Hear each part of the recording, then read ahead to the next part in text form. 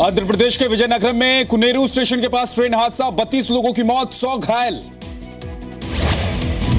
Jagdalpur, Bhubaneswar, Hirakhand express का engine और आठ डिब्बे पटरी से उतरे रात करीब ग्यारह बजकर बीस मिनट पर हुआ हादसा। ओडिशा के रायगढ़ा से 35 किलोमीटर दूर विजयनगरम के कुनेरू स्टेशन के पास हुआ हादसा। पीएम मोदी ने जताया दुख।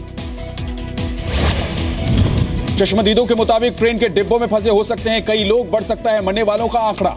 राहत और बचाव के लिए चार ट्रेन रायगढ़ा, संबलपुर और विशाखापट्टनम से हुई रवाना।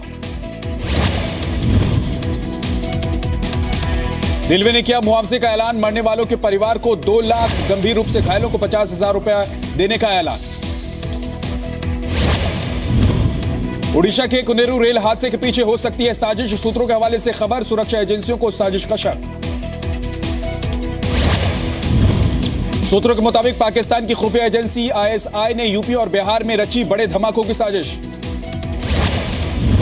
सूत्रों के मुताबिक सर्जिकल स्ट्राइक का बदला लेने के लिए आईएसआई ने रची साजिश। नेपाल में बैठे आईएसआई एजेंट शमसूल होदा को सौंपा गया धमाकों का जिम्मा। यूपी में समाजवादी पार्टी और कांग्रेस के बीच आज हो सकता है गठबंधन का ऐलान। सूत्रों के मुताबिक कांग्रेस ने 103 सीटों की रखी है मांग। गठबंधन पर सीएम अखिलेश और सोनिया गांधी के बीच हुई फ़ोन पर बातचीत। दिल्ली में राम गोपाल यादव और प्रियंका वाड्रा ने बैठक की। यूपी चुनाव के लिए समाजवादी पार्टी आज जारी करेगी घोषणा पत्र। अखिलेश के साथ मुलायम भी रहेंगे मौजूद। अमा कैंटीन की तर्ज पर सस्ता भोजन और तीन नए एक्सप्रेसवे शुरू करने का वादा कर सकते हैं अखिलेश। उत्तराखंड में आज जारी हो सकती है कांग्रेस उम्मीदवारों की लिस्ट। शनिवार को हुई कांग्रेस सीईसी की बैठक। समाजवादी पार्टी छोड़ बीजेपी में शामिल हो सकते हैं। बेनी प्रसाद वर्मा के बेटे राकेश वर्मा, टिकट नहीं मिलने से नाराज़। तमिलनाडु के अलग अलग हिस्सों में आज होगा जल्लीकट्टू का आयोजन। सीएम पनीर सेल्वम आज मदुरई में करेंगे जल्लीकट्टू का उद्घाटन। तमिलनाडु सरकार के मंत्री भी जल्लीकट्टू में लेंगे हिस्सा। हर मंत्री अपने निर्वाचन क्षेत्र में करेंगे जल्लीकट्टू उत्सव का उद्घाटन। तमिलनाडु की जनता से मुख्यमंत्री की अपील, आज जलीकट्टू में भारी संख्या में हिस्सा प्रदर्शन में भाग लेने वालों को कहा शुक्रिया। जलीकट्टू पर स्थायी हल के लिए आज भी प्रदर्शन, चेन्नई समेत तमिलनाडु के कई शहरों में सड़कों पर उतरे लोग। भारतीय सैनिक चंदू चौहान के परिवार को है उनका इंतज़ार, कल पाकिस्तान ने किया था रिया सर्जिकल स्ट्राइक के बाद गलती से पाकिस्तान की सीमा में चले गए थे। चंदू चौहान की रिहाई को भारतीय रक्षा विशेषज्ञों ने बताया, पाकिस्तान का एक बेहतर कदम। कुलभूषण यादव की भी रिहाई की मांग उठी। उद्धव ठाकरे से मिले शिवसेना नेता रामदास कदम, बीएमसी चुनाव में बीजेपी के साथ गठबंधन न करने को कहा। रामदास कदम का आरोप एक तरफ़ फडणवीस बातचीत के लिए बुलाते हैं, दूसरी तरफ़ बीजेपी नेता शिवसेना के खिलाफ बयानबाजी करते हैं। बीएमसी चुनाव में वोटरों को जागरूक करने के लिए धर्म गुरुओं की अपील, लोगों को बताया वोट डालने, कितना है ज़रूरी? महाराष्ट्र के नासिक में महानगरपालिका चुनाव से पहले शिवसेना के एक नेता की हत्या, पुलिस के मुताबिक चुनावी रंजिश में की गई हत्या। मुख्तार अब्बास नकवी ने कहा, ऑनलाइन हज यात्रा को मिल रहा है अच्छा रिस्पांस 24 जनवरी है, आखिरी तारीख। महाराष्ट्र में नासिक पुणे हाईवे पर मिनी बस और स्विफ्ट कार में टक्कर, तीन की मौत, नौ लोग घायल। दिल्ली रेलवे स्टेशन के अंदर एक मंदिर की छत पर लाश मिलने से सनसनी, पत्थर से कुचलकर की गई हत्या, जाँच में जुटी पुलिस।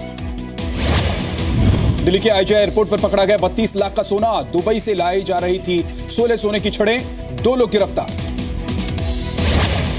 दिल्ली पुलिस ने पत्रकार बनकर व्यापारियों को ठगने वाले गिरोह का किया पर्दाफाश। चार सदस्य गिरफ़्तार गहने बरामद नारकोटिक्स कंट्रोल ब्यूरो ने दिल्ली में ड्रग्स के दो गिरोह का किया पर्दाफाश, करोड़ों की कोकीन के साथ तीन गिरफ़्तार। कानपुर में यूपी पुलिस के सिपाही ने शराब के नशे में जमकर किया हंगामा। मौके पर पहुँची पुलिस की टीम के साथ भी धक्का मुक्की बेटी की हत्या के दोषी एक शख्स की उम्र कैद की सजा को बॉम्बे हाईकोर्ट ने रखा बरकरार। 2010 में नईम खान ने की थी बेटी की हत्या।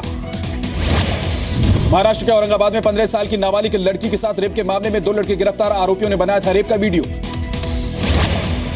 दिल्ली से सटे गुरुग्राम में सेक्स रैकेट का पर्दाफाश, बारह लड़कियाँ और तीन लड़के गिरफ़्तार, स्पा सेंटर की आड़ में चल रहा था धंधा।